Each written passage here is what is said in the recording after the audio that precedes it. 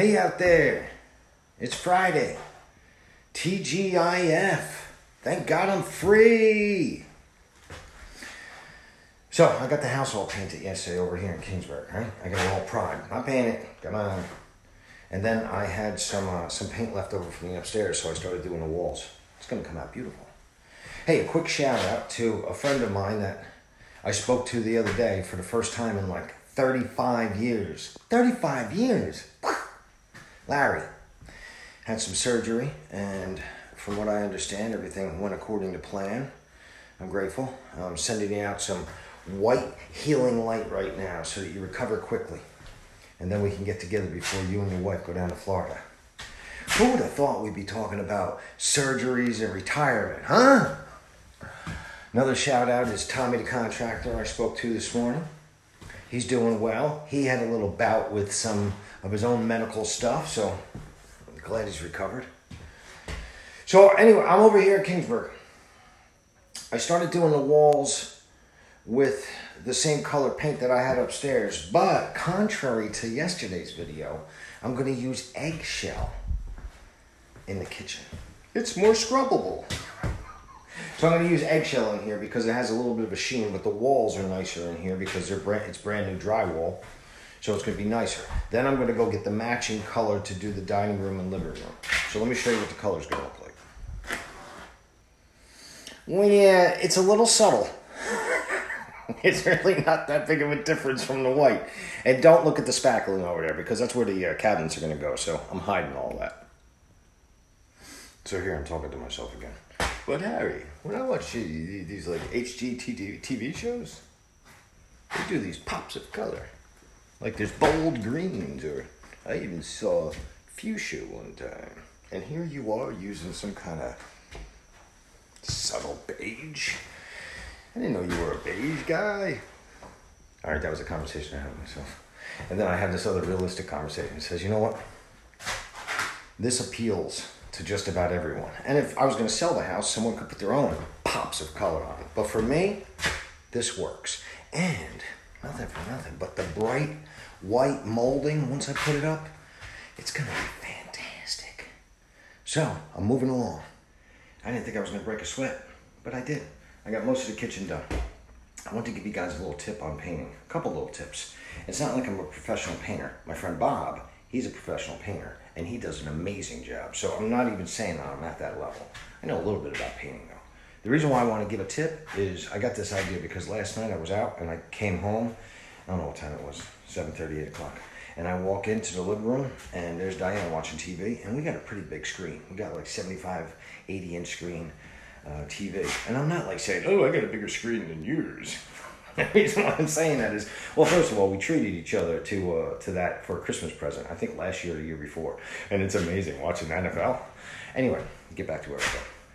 I walk in, and who does she have up on the big screen? Moi, me. She got videos up. She never watches my videos, so now I know I better I better watch what I say, huh? So she got me up there. Hey, I could go grab popcorn and I could watch me all day. what do they say? Many true things are said in jest. All right, let me tell you why I was bring, bringing that story up. Because she said she liked the tips that I give. So if you already know all this stuff, then you know, fast forward through it. If not, let me give you a couple little tips. When possible, I like to use a screen. Uh, that's a, a screen for a five gallon bucket of paint. It's so much easier than emptying and filling and cleaning the, uh, the, the, the, roller trays. And at the end of the day, you just take your, uh, your lid and you put it on, and it's fresh the next day.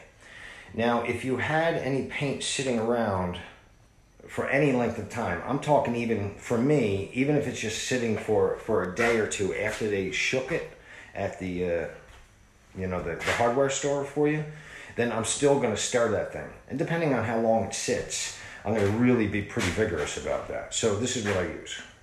I got my trusty drill and one of those stirrers that I put in the drill.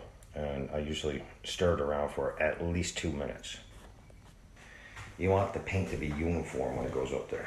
Here's a couple of little tips. Now, sometimes I'll see somebody painting and like talk about like almost like wigging out. I'll see somebody painting with a roller and they're putting like the last drop of paint that they have on that roller on the wall. Like, I'm gonna get one more stroke out of this. Talk about putting me over the edge. Put paint on it. All right, that was a little dramatic, but keep your roller and your paintbrush wet while you're painting. Don't let it get too dry. It, you run into problems. It doesn't look good in the end, and it's just a it's just a much harder job to do. So that's one of the tips. It might look a little blotchy because it's still wet. However, man, that wall looks nice. Real quick painting story. So I must have been about 19 and I already developed some carpentry skills, drywall skills, some other skills, and I'm going out to paint. And I get a pretty big job. It's a two-story house. I think it was in brick. Yeah.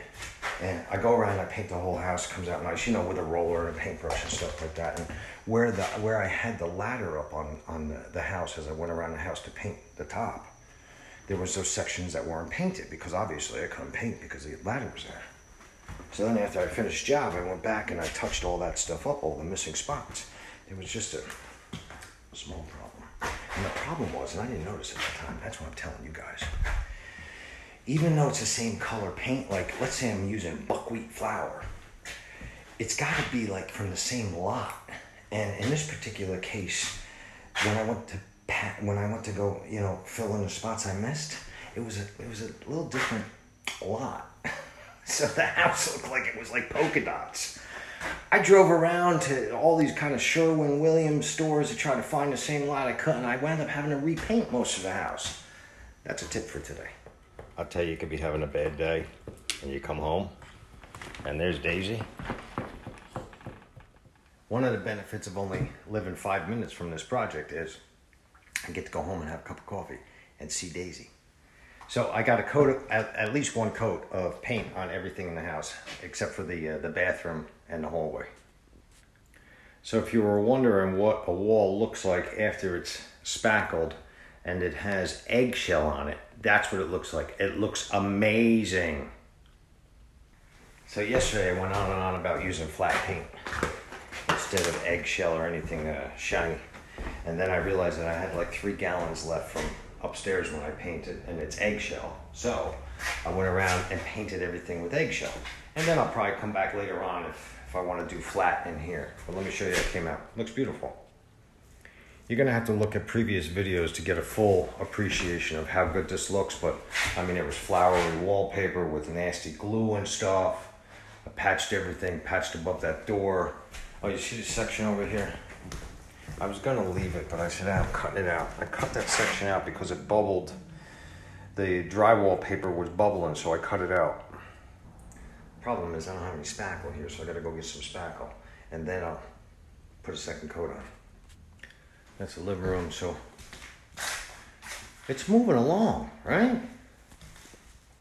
I gotta put some spackle on that. So anyway, I gotta get a couple gallons of spackle.